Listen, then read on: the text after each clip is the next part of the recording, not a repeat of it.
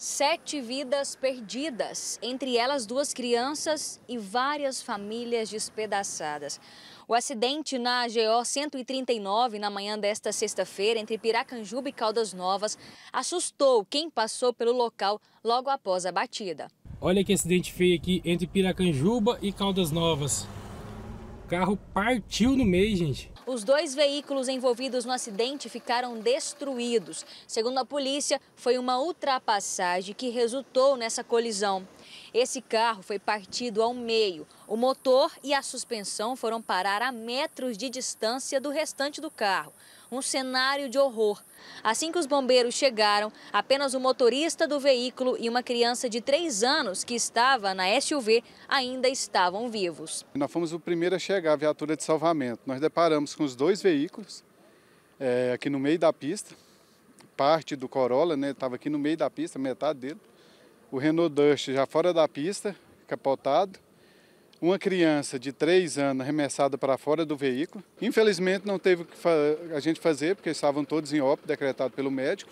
O impacto foi tão forte que as equipes tiveram muito trabalho para retirar algumas vítimas, que acabaram ficando presas às ferragens. Seguiam nesse carro de passeio os goianos Tiago Robert de Moraes, de 37 anos, e a amiga dele, Joyce Cristina. Na SUV estava a família mineira Laerte Rafael Pereira, o condutor, de 39 anos, a esposa dele, Nataliana Marques Alves Pereira, de 34 anos, os filhos do casal, Arthur Marques Pereira, de 11 anos, e Benjamin Marques Pereira, de 3 anos, além de Eliana Marques Alves, mãe da Nataliana, que tinha 57 anos. A família de Tiago esteve no local e preferiu não gravar entrevista, mas contou que ele viajava para encontrar a namorada que já estava em Caldas Novas e levava junto uma amiga dessa namorada, a Joyce.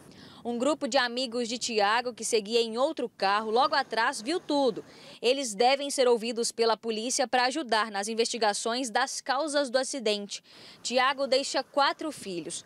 A perícia passou a manhã colhendo vestígios e analisando o cenário da tragédia. A perícia, basicamente, ela vem, é, faz a coleta de imagens, de tiramos fotografias, fazemos as medições do, do local do, da colisão até o local onde parou o veículo, onde pararam as vítimas. A gente vai montar todos esses vestígios para determinar a dinâmica do acidente.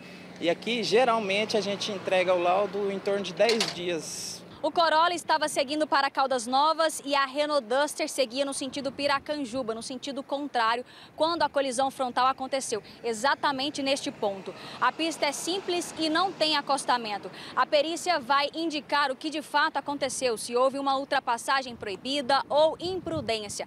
A perícia criminal já adiantou que o estrago em que os dois veículos ficaram demonstra que os dois motoristas estariam em alta velocidade. Pelo estado dos veículos, o, o veículo Corolla, inclusive, chegou a se partir ao meio, a gente estima que a velocidade era bastante alta. E quando você tem uma colisão frontal, você tem uma somatória das duas velocidades. Aí se torna uma velocidade mais alta ainda.